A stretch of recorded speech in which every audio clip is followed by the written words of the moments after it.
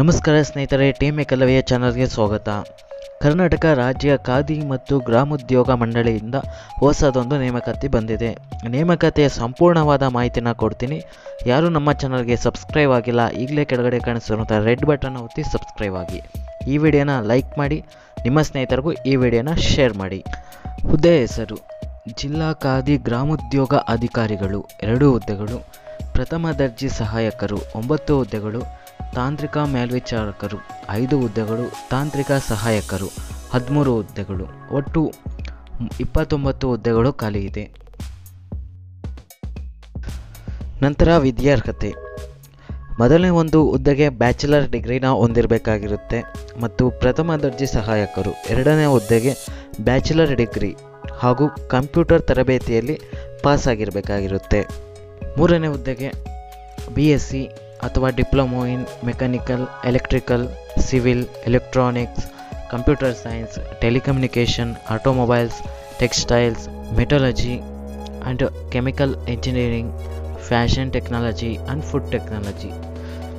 ನಾಲ್ಕನೇದಾಗಿ ತಾಂತ್ರಿಕ ಸಹಾಯಕರು. ಐ ಟಿ ಐ ಸರ್ಟಿಫಿಕೇಟ್ನ ಹೊಂದಿದರೆ ಈ ಒಂದು ಜಾಬ್ಗೆ ಅಪ್ಲೈ ಮಾಡ್ಬೋದಾಗಿರುತ್ತೆ. ನಂತರ ವಯಸ್ಸಿನ ಮಿತಿ. ಕನಿಷ್ಠ ಹದಿನೆಂಟು ವರ್ಷಗಳಾಗಿರಬೇಕಾಗಿರುತ್ತೆ. ಸಾಮಾನ್ಯ ಅಭ್ಯರ್ಥಿಗಳಿಗೆ ಮೂವತ್ತೈದು ವರ್ಷಗಳು, ಪ್ರವರ್ಗ two A two B three A three B ಅಭ್ಯರ್ಥಿಗಳಿಗೆ ಮೂವತ್ತೆಂಟು ವರ್ಷಗಳು ಎಸ್ ಸಿ ಎಸ್ ಟಿ ಮತ್ತು ಪ್ರವರ್ಗ ಒಂದು ಅಭ್ಯರ್ಥಿಗಳಿಗೆ ನಲವತ್ತು ವರ್ಷಗಳು. ವೇತನ, ಇಪ್ಪತ್ತೊಂದು ಸಾವಿರದ ನಾನ್ನೂರು ರೂಪಾಯಿಂದ ಎಂಬತ್ತೆಂಟು ಸಾವಿರದ ಮುನ್ನೂರು ರೂಪಾಯಿವರೆಗೂ ವೇತನ ಇರುತ್ತೆ. ವೇತನದ ಬಗ್ಗೆ ಇನ್ನೂ ಹೆಚ್ಚಿನ ಮಾಹಿತಿಗೆ ಕೆಳಗಡೆ ಕೊಟ್ಟಿರುವಂತಹ ನೋಟಿಫಿಕೇಷನ್ನ ನೀವು ಓದಬೇಕಾಗಿರುತ್ತೆ. Application fees. ಸಾಮಾನ್ಯ ವರ್ಗಕ್ಕೆ ಸೇರಿದ ಅಭ್ಯರ್ಥಿಗಳು ಮತ್ತು ಪ್ರವರ್ಗ two A, two B, three A, ತ್ರೀ ಬಿಗೆ ಸೇರಿದ ಅಭ್ಯರ್ಥಿಗಳಿಗೆ ಎಂಟುನೂರು ರೂಪಾಯಿ ಫೀಸ್ ಇರುತ್ತೆ. ಎಸ್ ಸಿ ಎಸ್ ಟಿ ಪ್ರವರ್ಗ ಒಂದು ಮತ್ತು ಮಾಜಿ ಸೈನಿಕ ಅಭ್ಯರ್ಥಿಗಳಿಗೆ ನಾನ್ನೂರು ರೂಪಾಯಿ ಫೀಸ್ ಇರುತ್ತೆ. ಹಾಗಾದರೆ ಅಪ್ಲಿಕೇಶನ್ನ ಸಲ್ಲಿಸೋದು ಹೇಗೆ? ಅಭ್ಯರ್ಥಿಗಳು ಅಧಿಕೃತ ವೆಬ್ಸೈಟ್ನಲ್ಲಿ ನೀವು ಅರ್ಜಿನ ಸಲ್ಲಿಸಬೇಕಾಗಿರುತ್ತೆ.